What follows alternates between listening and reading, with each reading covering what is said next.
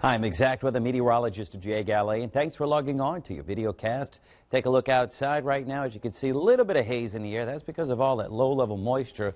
And we do have some high clouds that are moving through, and as we continue heating up the surface, those puffy white clouds, they'll start building as well.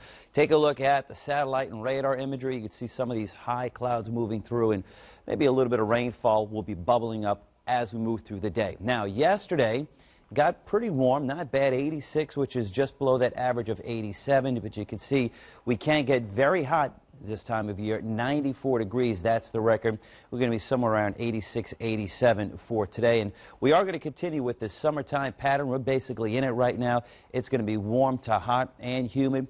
Chances of afternoon rain will be with us, and as we get a little bit closer to hurricane season, we're going to have to start paying attention to the tropics. And speaking of which, we're going to have a look right now what's going on. Gulf of Mexico looking good, but have a look down here. You see what's happening. We've got a 90% chance for this system right here in the Pacific to become a tropical system over the next 48 hours most likely will. The hurricane season in the Pacific started May 15th, so they'd be on their second named storm if that develops into something tropical.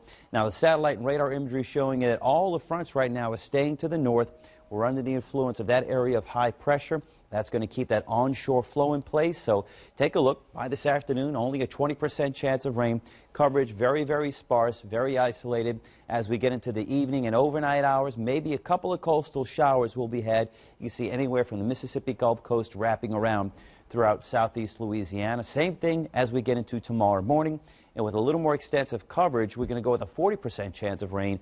Tomorrow afternoon, we're going to get an upper level feature that's going to move through. That'll help fire off maybe a few more showers and storms. And by 8 o'clock, we'll keep a couple of coastal showers in the mix as well. So for today, mid to upper 80s, 20% chance of rain. Look out for those afternoon clouds. Warm, humid, and breezy. Not going to be a bad day at all, although it is going to be a bit warm. So just make sure you're ready for that if you're going to be outdoors for any extended period of time. Mid to upper 60s on the north shore this evening, upper 60s, lower 70s. Clear to partly cloudy a little muggy, and again, coastal shower will be possible. And we start pushing into the upper 80s tomorrow and Thursday. Rain chances at 40%.